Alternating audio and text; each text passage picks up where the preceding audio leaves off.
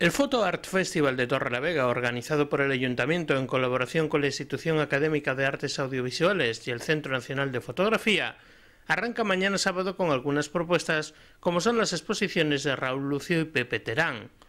En este festival, además de las muestras fotográficas que se instalarán en el Foto, también habrá un taller de fotografía y autopublicación que impartirá a lo largo del fin de semana Xavier Moyá y Revert. Asimismo, se realizará el domingo 14 de septiembre un paseo fotográfico por Torrelavega y su periferia entre las nueve y media de la mañana y el mediodía, en el que los asistentes descubrirán e inmortalizarán con su objetivo los diferentes espacios del recorrido. También se ha programado para el domingo una mesa redonda a las doce y media de la mañana en el Cenefoto en la que intervendrán Raúl Lucio, Manuel Alonso Lanza y Pepe Terán, y estará moderado por Manuel Sonseca, en la que se hablará sobre el viaje fotográfico.